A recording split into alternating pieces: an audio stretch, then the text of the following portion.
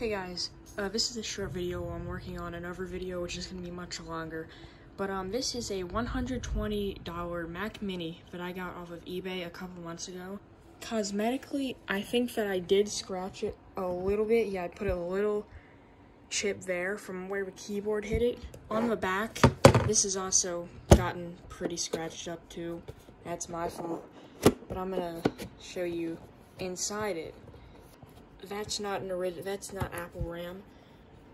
So I didn't know this was 4 gigabytes um, per stick when I found it, so I thought this was a 2 gigabyte stick. So I booted up, and this has 8 gigabytes of RAM in it.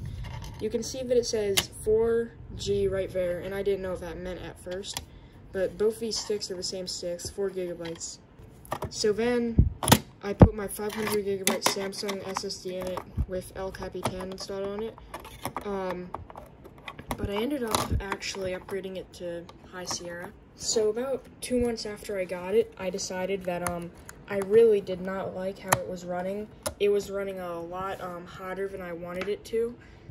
So I reapplied the thermal paste with um with okay. The power just went out. So I applied uh, this thermal paste. As you see here, this is actually dual booted. So we have macOS High Sierra and Windows 7 64-bit. So I'm going to do macOS High Sierra first. So as you see right here, this is the base model Core i5 model with upgraded RAM. These are the temperatures while editing a 1080p video in Final Cut Pro.